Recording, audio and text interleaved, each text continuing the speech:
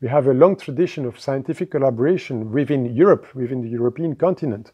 And uh, in order to better achieve our ambitious goals for the future, scientific goals, uh, we'd rather uh, in, increase our collaboration between all states within, within Europe, including, of course, the UK and Switzerland. And I sincerely hope that we'll be able to in, in intensify scientific collaboration between EU member states and the UK and Switzerland, and between UK and Switzerland and member states.